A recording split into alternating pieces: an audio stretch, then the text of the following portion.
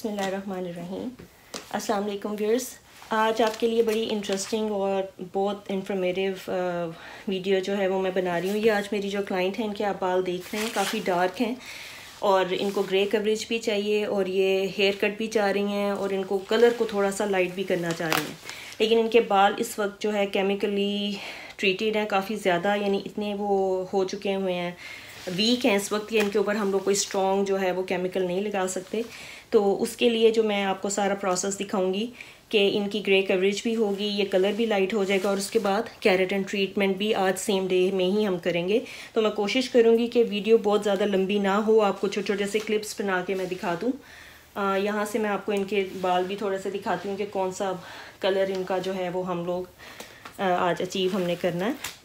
तो उसके लिए जो कलर रिमूवर के लिए जो है ना मैं ये यूज़ कर रही हूँ। मैं ब्लीच यूज़ नहीं करूँगी क्योंकि इनके बाल अभी इतने स्ट्रॉन्ग नहीं है कि इसके ऊपर ब्लीच लगाया जाए। तो ये कलर रिमूवर है। इससे मैं मैं यहाँ पर कलर रिमूवर की एप्लीकेशन करने लगी हूँ। उसके लिए मैंने वन आउंस जो पाउडर था वो लिया था और तीन आउंस जो है वो ट्वेंटी डेवलपर जो है उसके साथ मैंने मिक्स करके इसको मैं रूट से पीछे पीछे करके जहाँ पर इनका पहले से इन्होंने जो डाई इनका काफ़ी डार्क था वो वो इन्होंने जहाँ पे लगाया हुआ था उस हिस्से को मैं सिर्फ़ टारगेट करूँगी रूट्स के ऊपर उसके ऊपर इसको नहीं लगाएँगे।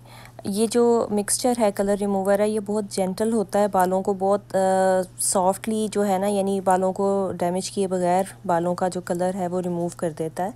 तो ब्लीच जो है वो बालों को बहुत ज़्यादा जो है वो रफ़ कर देता है। इसलिए जब किसी के बाल कॉम्प्रोमाइजिंग हों तो उसके ऊपर ब्लीच तो बिल्कुल उस टाइम पे आप ना लगाएँ। ये सबसे बेस्ट तरीका जो है बालों को लाइट करने का वो कलर रिमूवर है। क्योंकि जो अगर आप कलर भी कोई लगाते हैं, उससे आपके बालों को कोई शेड मिलेगा नहीं, क्योंकि कलर जो है वो कलर को लिफ्ट नहीं करता। आपको बालों को लाइट करना पड़ता है। तो इनके बालों में ऑलरेडी डाई हो चुका हुआ है बॉक्स डाई है प्रीवियसली कई दफ़ा ये अपने बालों को कलर करवा चुकी हुई हैं। तो उसके लिए हमें कलर को रिमूव करना ज़रूरी है अदरवाइज़ आप कोई भी शेड इनके बालों को नहीं दे सकते।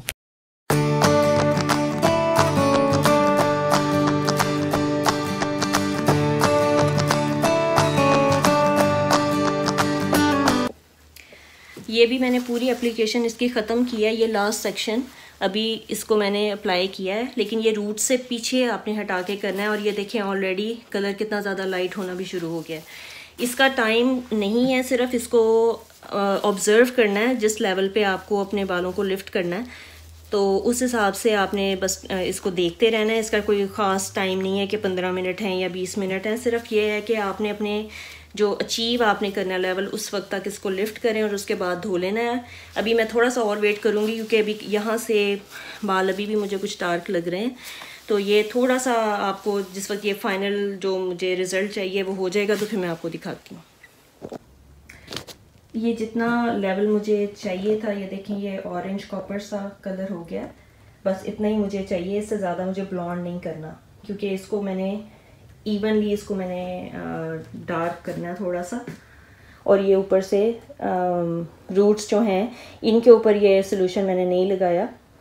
ये जो ग्रे कवरेज है, ये मैं जो कलर है उसके साथ इसको कवर करूँगी। तो अब मैं इनको वॉश करके तो फिर मैं आपको इसको दिखाती हूँ। ये जो एक्सट्रीम ब्लीच रिकवरी जो शैम्पू है, ये मैंने जो इनके बाल धोए हैं, इस शैम्पू के साथ, ये जो बालों का ये जो जितने भी कोई ब्लीच या डैमेज हेयर है, उनके लिए ये यूज़ किया जाता है। तो इसे मैंने सिर्फ़ यही लगाया कंडीशनर यूज़ नहीं किया।